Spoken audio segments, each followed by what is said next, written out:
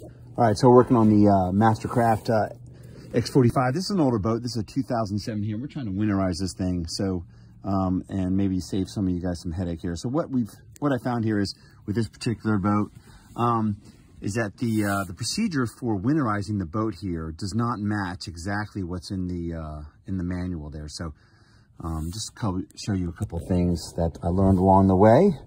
So down here,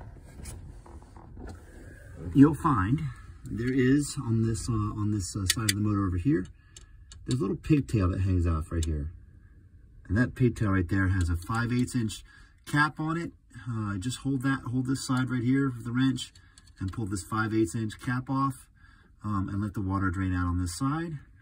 As long as you're over here at the same time, there's this little tank here. I'm not sure what this accessory tank does, but uh, drain that little, this little pipe threaded bolt right here. Um, that will empty this little tank of some sort. Um, and then go do the other side.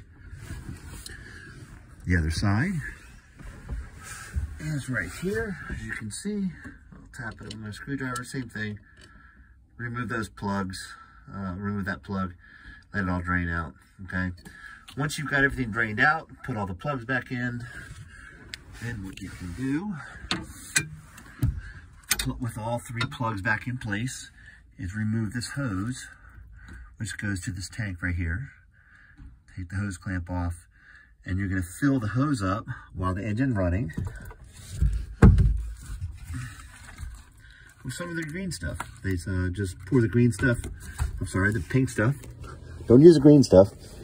Uh, use the pink stuff here that's proper for boats. Um, and then pour it into the uh, the water pump inlet hose here while the engine's running, and that will circulate this uh, this coolant, protective coolant through the engine. Uh, run it for about uh, about 30 seconds or so with that stuff on, and then um, that's all it takes. Put the hose back on, then you're uh, ready to go.